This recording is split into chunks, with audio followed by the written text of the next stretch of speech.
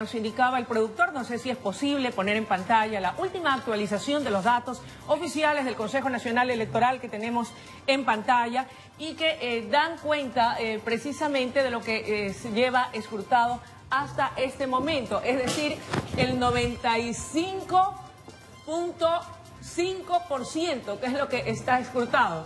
98.92. 98.92, que no es lo que aparece en esta página. 98.95%.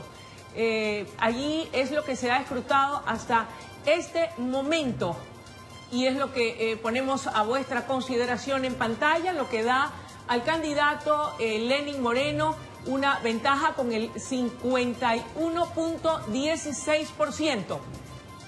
Y lo que No eh, veo yo de aquí, no, lo la que verdad es que no se veo. puede apreciar también en pantalla versus el 48.84% para el candidato Guillermo Lazo. Repetimos, escrutado hasta este momento el 98.95% del total de la votación a nivel nacional, dato oficial del Consejo Nacional Electoral, que da una ventaja con el 51.16% a Lenín Moreno versus el 48.84% a Guillermo Lazo. Lo que significa, Luisa, que con el 98 punto cuánto 98.95%. por ciento ya la tendencia es irreversible, ¿no?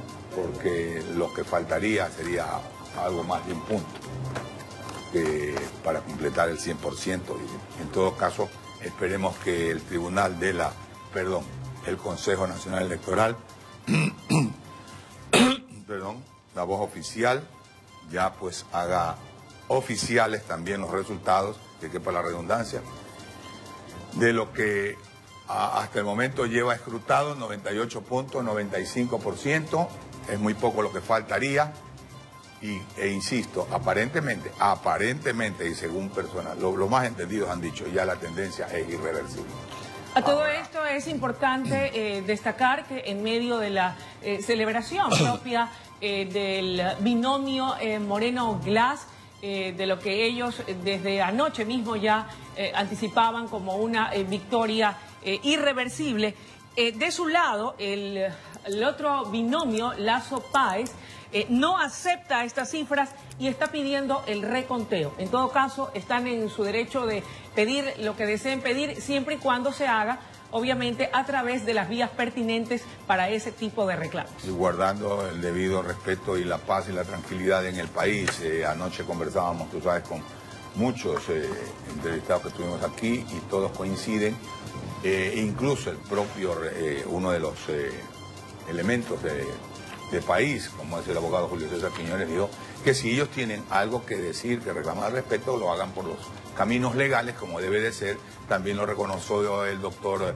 Guillermo Celi, eh, principal de Suma, que también dijo que por los caminos legales, y él también es un llamado a la paz y a la tranquilidad, van a pedir, si es necesario, el conteo voto a voto, que es una de las alternativas, eh, lo dijo también el doctor Byron López, es una de las alternativas que la ley contempla y que el, tribun- el Consejo Nacional está en la obligación de acceder pues al- a la petición de quien se considere perjudicado. Ahora,